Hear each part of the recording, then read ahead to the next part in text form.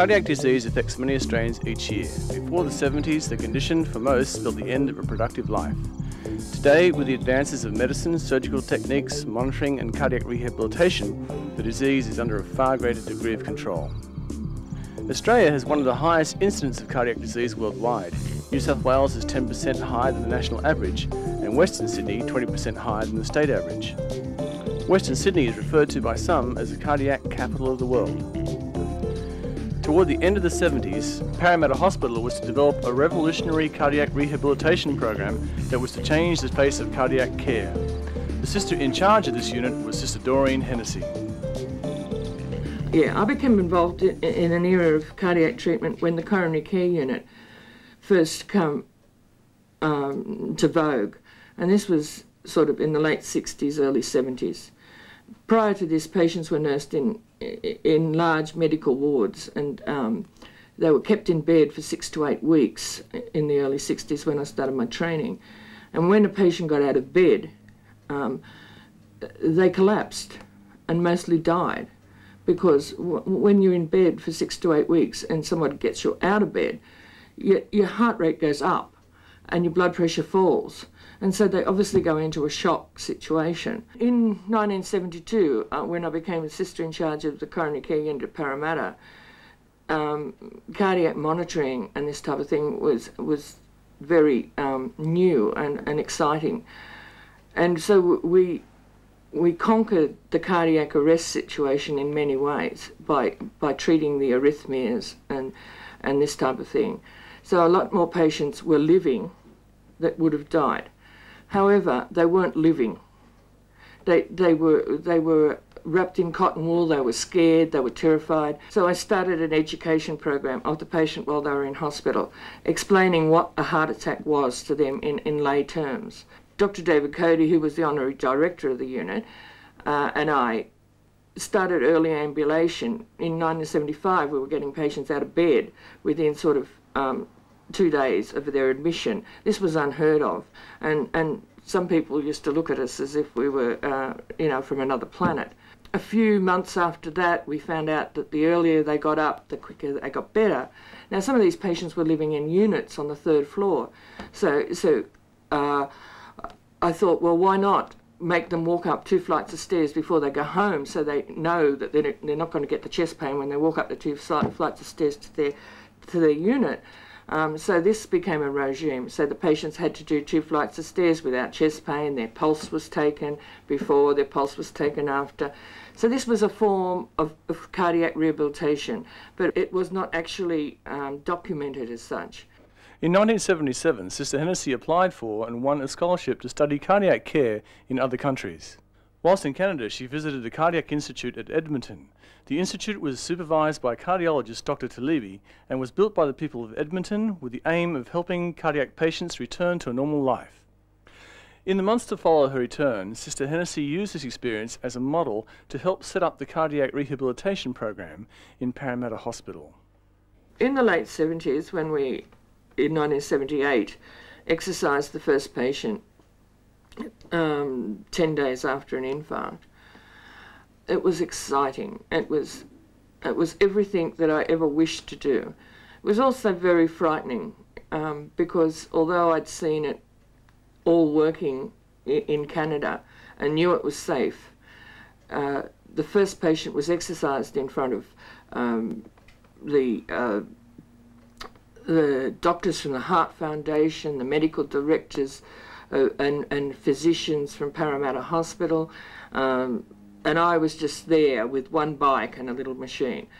But that first patient did well and actually lived until 1997. Uh, so within sort of um, two months, I had about 40 patients.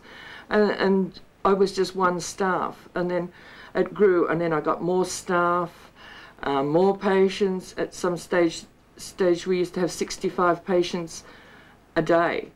Um, just in a session in the evening where, where we used to run the cardiac gymnasium, which was also really a lot of fun. The nursing staff did it in their own time.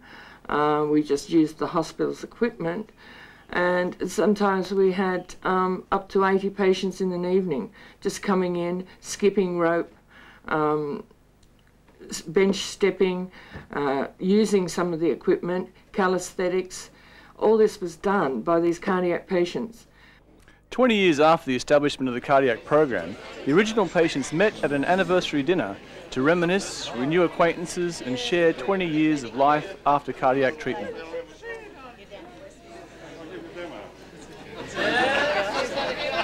When I had the heart attack, I, I you know, I, I, thought the end of the world had come.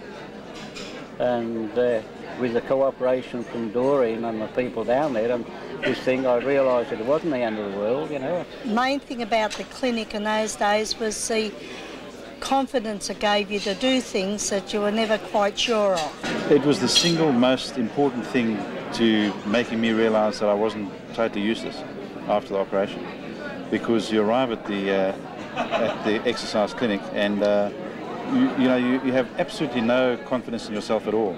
But they put you, they wire you up and they put you on the treadmill, and you realise after walking about 10 minutes, you know, and they push you quite hard as well, and you realise that you know you're not so totally useless after all. You know, you, there is still something left in you.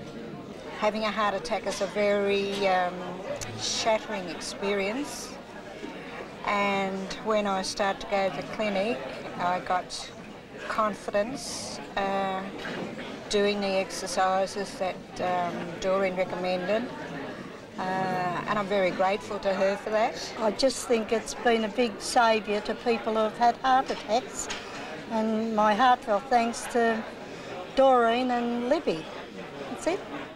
Yeah, I've been in cardiology practice now for 20 years, and there's no doubt that over that time, I've seen some quite amazing developments in the uh, treatment of myocardial infarction and uh, the return to um, work of and normal activities of uh, these patients who uh, previously um, were quite likely to have suffered quite uh, major problems. There's no doubt that over that period of time, uh, the incidence of coronary artery disease, the incidence of death of coronary artery disease has declined, but people are still suffering quite frequently infarcts, unstable angina, um, requiring quite frequent admission to hospitals. There is still um, a quite a strong social and psychological stigmata to suffering myocardial infarction. It's a great concern to the patient and his family and also to the workforce. So it really does not matter if the patient has been in hospital for a short period of time or a long period of time.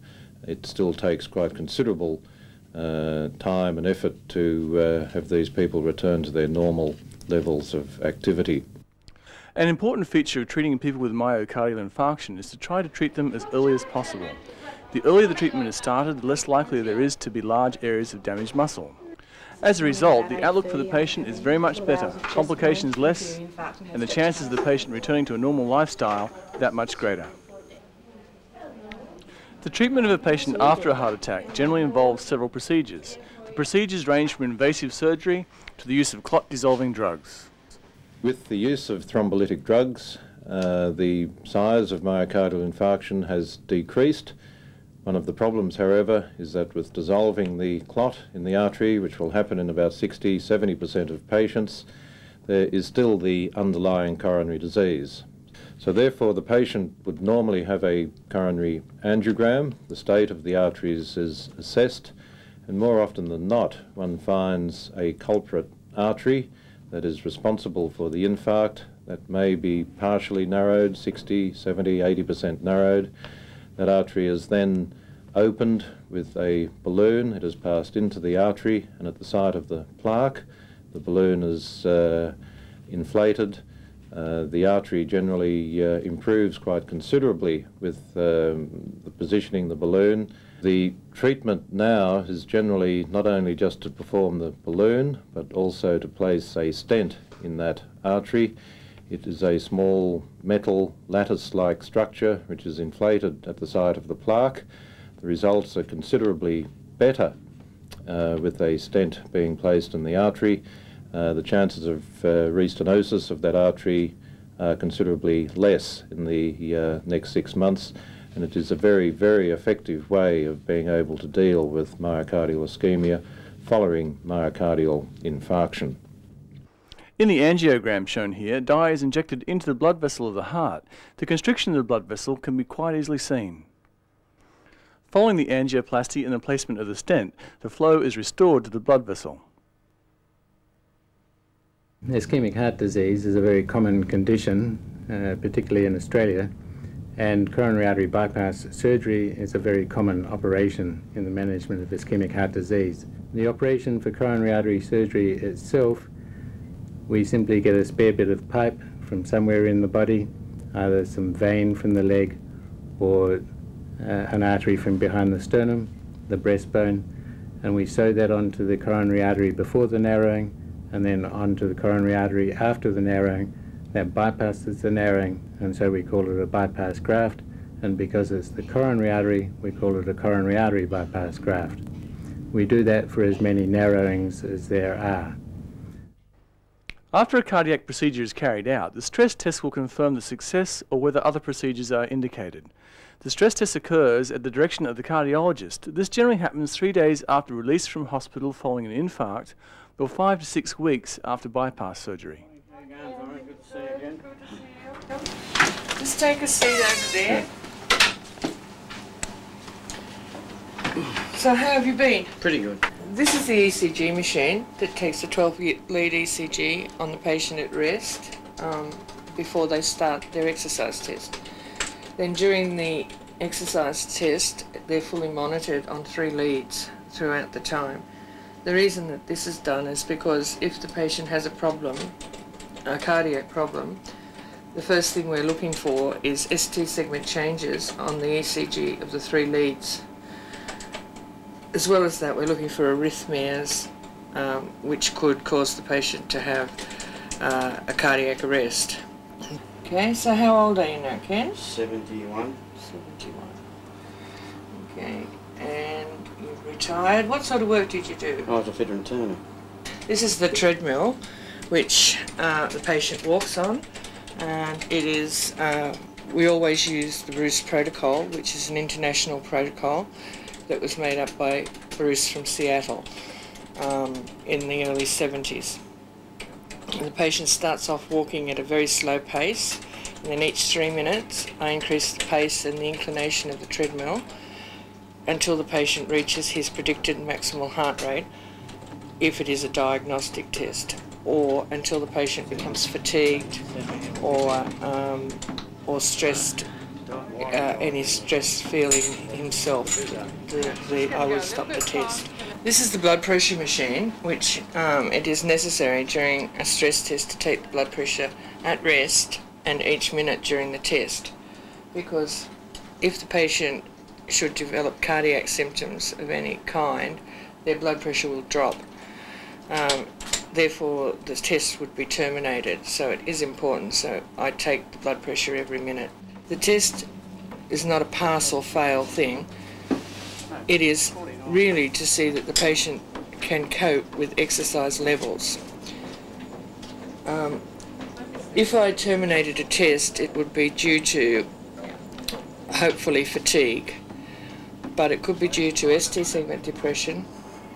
It could be on the cardiograph. It could be due to a drop in a blood pressure. It could be due to patient developing chest pain. Uh, it could be due to an arrhythmia. If any of these things occur, the test terminated and appropriate steps are taken, such as the patient's then referred straight to their cardiologist, who in turn, if the patient had ST segment depression and chest pain, at their stress test at any level throughout their program over the two years, um, they would be referred on to their cardiologist and in turn then he would have an angiogram and either an angioplasty, stent or coronary artery bypass or in some cases just be treated with different medication. After a cardiac treatment, depending on the results of the stress test, patients are ready to join the cardiac rehab program.